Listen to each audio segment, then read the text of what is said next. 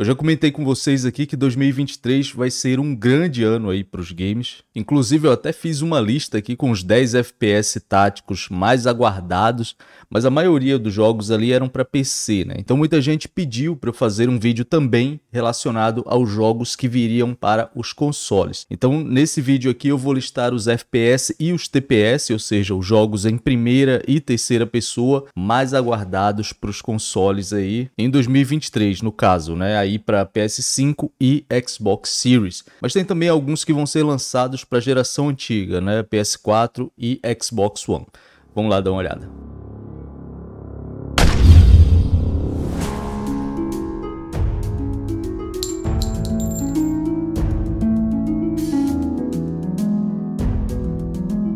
Ok, beleza guerreiros? Satisfação enorme ter todos vocês por aqui.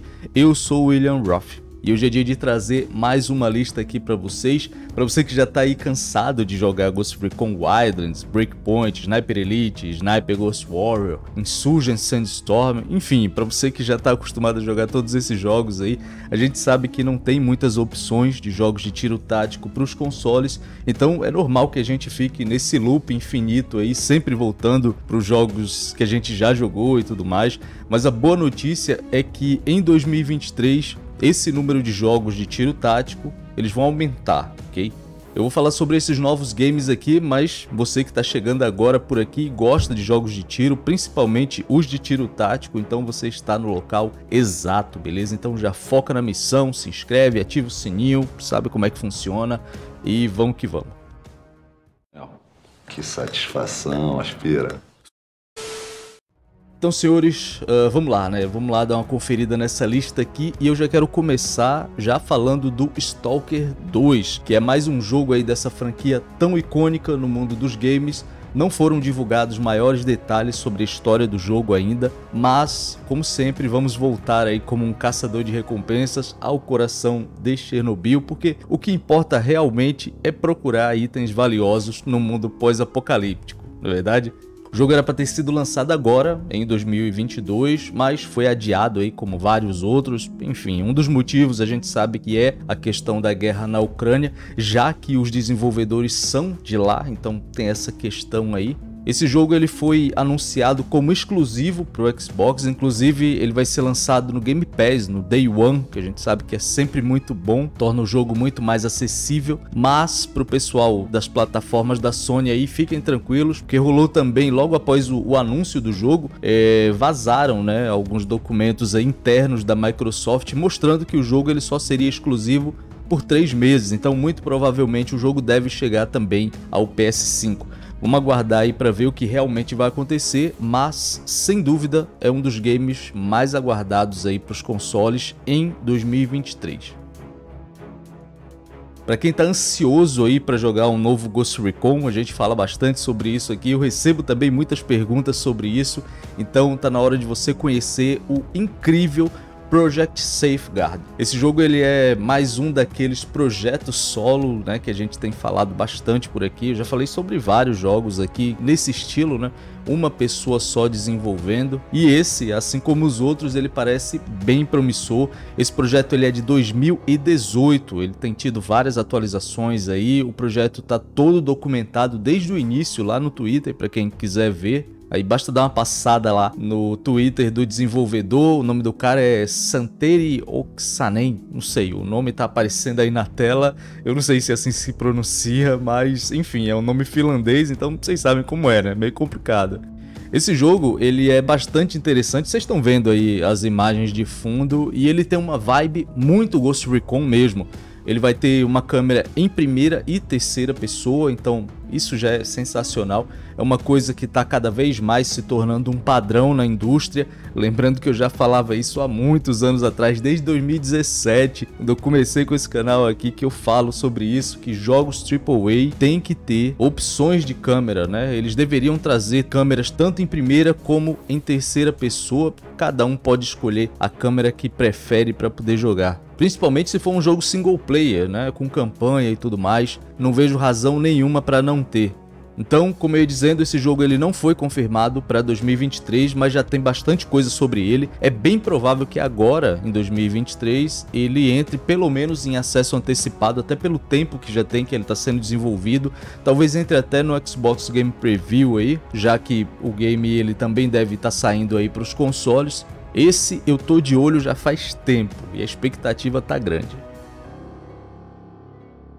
O IDI Origins, ele é o terceiro jogo da série, eu já falei sobre ele aqui no canal em outras oportunidades e como o próprio nome sugere, esse vai ser um reboot da franquia, né? Imagino que eles devam fazer ali como a Rebellion fez com o Sniper Elite V2, por exemplo, é fazer um soft reboot, né? Atualizar a história, os gráficos, a gameplay e dar andamento na franquia a partir daí. Inclusive, no caso de Sniper Elite, isso deu muito certo porque a Rebellion lançou o Sniper Elite V2 2 e aí já estava com o Sniper Elite 3 engatilhado, né? E quando lançou um, logo na sequência já lançou outro e foi um grande sucesso, revitalizou muito a franquia que andava bem esquecida, né, depois do primeiro jogo. Eu espero que aconteça a mesma coisa com o IDI, porque os consoles precisam, né, de mais opções de jogos de tiro tático.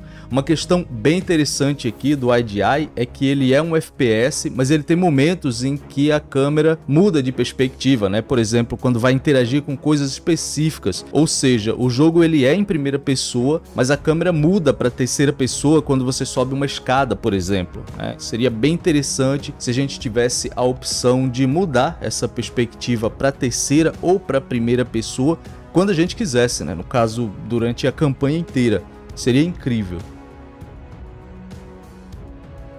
Arma Reforged, olha eu falando mais uma vez dele aqui, esse vai ser o primeiro jogo da série a chegar nos consoles e já vai chegar em grande estilo porque o Arma Reforged ele é uma espécie de alfa do Arma 4. Já falei sobre isso aqui em outros vídeos, inclusive tem um vídeo dedicado ao Arma Reforged com todas as informações, vou deixar no card aqui em cima para vocês assistirem, caso não tenham visto ainda. Então digamos que o Arma Reforged é uma espécie de pedra que está sendo lapidada aí, né? Aliás, o Arma Reforged ele já pode ser jogado agora mesmo se você tiver um Xbox aí via Xbox Game Preview.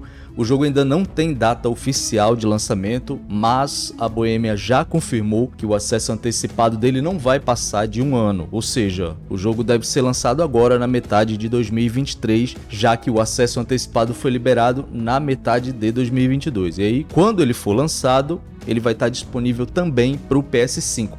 É importante dizer isso porque eu vi muitos canais, esses canais de, de guerrinha de console, eu vi muitos canais aí do lado do Xbox, no caso, dizendo que esse jogo ele seria exclusivo para Xbox, o que não é verdade. Já foi confirmado que ele vai chegar também para PS5. Ele só não está disponível para PS5 nesse momento porque a Sony não dá suporte a jogos que estão em acesso antecipado. No caso do Xbox, o Xbox tem esse programa que é o Xbox Game Preview, que dá essa opção de você jogar jogos em acesso antecipado. Então a, a diferença é só essa, ok? Mas o jogo vai chegar sim ao PS5 no caso.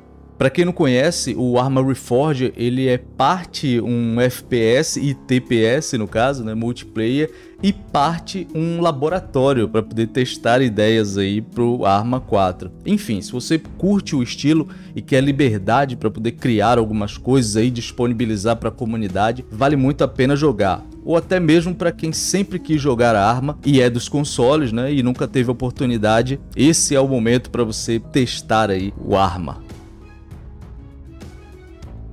Vocês já devem ter escutado muitas vezes eu comentando aqui sobre os Six Days em Fallujah e 2023 finalmente deve ser o ano aí que nós vamos colocar as mãos nesse jogo incrível, cheio de polêmica e tal, mas muito aguardado também. Para quem não lembra, o Six Days em Fallujah, como o próprio nome indica, ele vai retratar aí seis dias de combate na segunda batalha de Fallujah, que ocorreu ali entre 7 e 23 de 2004. Foi ali durante a guerra do Iraque. O jogo ele acabou se envolvendo em muitas polêmicas por tentar tratar o tema de uma forma mais documental, digamos assim, mostrando ali os relatos das pessoas que realmente viveram o conflito e tal. E, enfim, a ansiedade tá grande para esse jogo. Se você quiser mais detalhes sobre ele, eu já fiz vídeos aqui falando sobre ele. Inclusive tem um vídeo dedicado que é esse aqui, vou deixar no card também. Vai lá, dá uma olhada caso você não tenha visto ainda. Tem absolutamente tudo sobre esse jogo lá. Então é isso, é, comentem embaixo qual game que vocês estão esperando mais, se há algum desses que eu trouxe aqui nessa lista, ou se vocês têm algum outro que estão esperando mais aí e tal, e que eu acabei esquecendo de colocar aqui, é, acontece, né? Infelizmente a gente vai gravando aqui de bate pronto, ah, pode ser que, que esqueça de alguma coisa, mas nos comentários aí vocês nunca esquecem de nada. Então Deixa aí se eu esqueci de algum grande jogo de tiro tático que tá chegando agora em 2023 para os consoles e eu não incluí nesse vídeo, beleza? Já deixa o like aí para poder ajudar na relevância do vídeo. Se possível, torne-se um membro, porque aí vai estar tá ajudando bastante o canal, ok? Forte abraço a todos, foco na missão e até a próxima.